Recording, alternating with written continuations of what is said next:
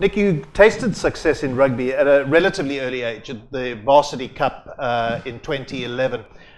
At what stage, though, of your life did you realise rugby was something you could do for a living? Um, I was always really passionate about rugby throughout school.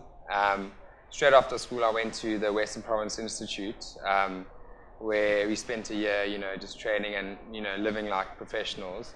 And um, I guess it was from there. I, I didn't make any representative sides from that, um, but I always believed that I sort of had what it took, you know, to, to make it. Even though I wasn't getting selected, whatever the case may be. So, off I went to varsity and just had a big goal to play in the varsity cup, and uh, managed to, you know, get it, get a look in there. And from then on, you know, um, I, from that exposure, I got invited to Western Province on the 21 trials, and um, all of a sudden there I was playing in the under 21 Currie Cup where the year before I couldn't make the under 19 side. So I, it was it was through that year we had a very good year. We won the tournament um, and I ended up getting my first contract. That's when it that's when the moment sort of hit.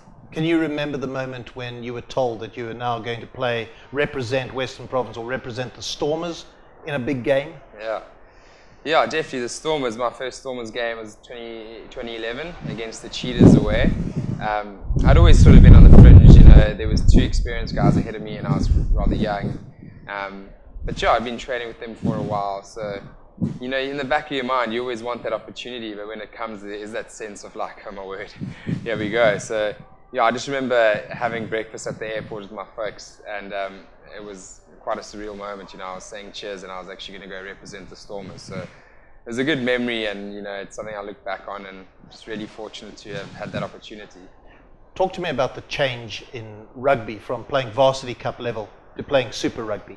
Physically, how different are those games? Yeah, obviously, uh, Super Rugby is a huge physical demand. Um, not only that, you know, it's week in, week out. You've got to play against the best teams in the world. There's a the travel element. Um, it all sort of, you know, the, this whole Super Rugby product is, is, is much more taxing than anything I've ever played in before.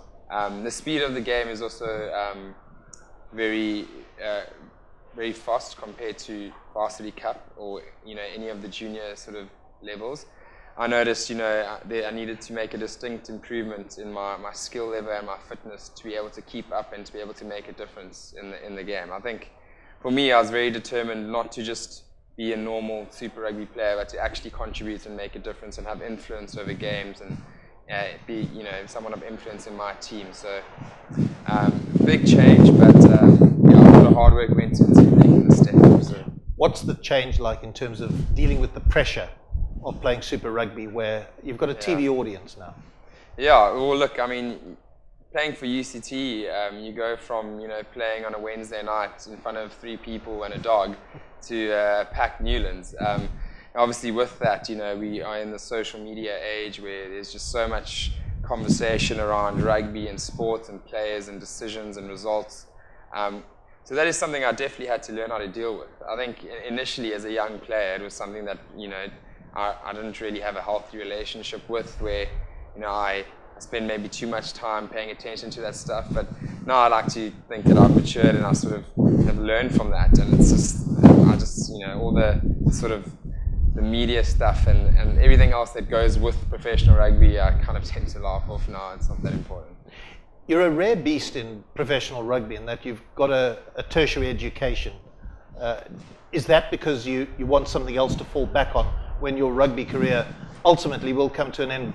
Well, let's, let's hope later rather than sooner, but sometime in your 30s. Yeah. Well, initially, you know, when I left the institute, I was going to go study because, um, you know, I didn't have, I wasn't a professional. You know, that my next thing was to go and get a degree and to, you know, after that, start working. And I had, at that stage, had no real sort of uh, idea or no real desire. Well, I always had the desire, but I had, I had no real inclination as to whether I'd become a professional or not. It was just, you know, the, the next most important thing in my life was sort of getting to class. And um, during my first year, I, ended, I got caught up to the under 21s where you know, I was playing as an uncontracted player. And once I got the news that, you know, you're going to give me a professional rugby player full time, um, you know, I just made the decision that I would keep up with my studies. You know, I had to make one or two adjustments. I had to you know, hold back a few subjects a semester, but I was very determined to just to finish that finish that degree because I mean rugby is just so just so final, isn't it? Like mm. your, your your day could be around the corner. So you know, being prepared for that day, whenever it may be, is also something I'm, I'm, i think is really important. Are you the type of person who can adapt to change when you look at the, the way your career's gone? Uh, you've been you've had the captaincy as well; those responsibilities on your shoulders. How are you able to adapt to change, anticipate change, and work with change? Um, yeah, I think I think I just I think perspective for me is is is a key thing. Um, you know, a lot of the times guys get put into high pressure situations and they can fold. Um, you know, but I just tend to look at it as you know, I'm here for a specific reason. I'm definitely good enough, otherwise I wouldn't be here.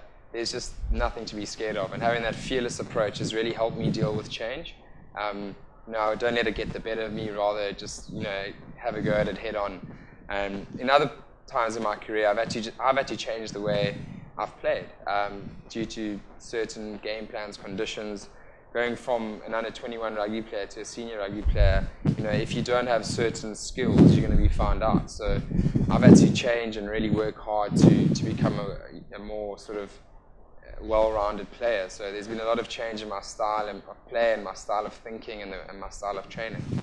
Finally, let's just look at some of the, the big moments in your uh, career so far. I would imagine that Currie Cup victories might loom large. Yeah, obviously. Um, I'm lucky enough to have won two Currie Cups. Uh, a, a, very great rugby of mine was that 2011 Varsity Cup final, I must say, in Pretoria. Just, um, you know, just the, the, the bunch of people involved in that campaign are, some, are really special um, and still are in my life.